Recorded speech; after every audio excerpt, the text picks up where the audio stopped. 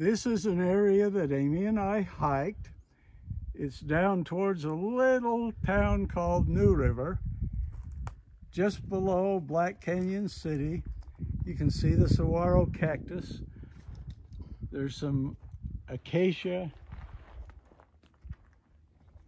and it's a wash area.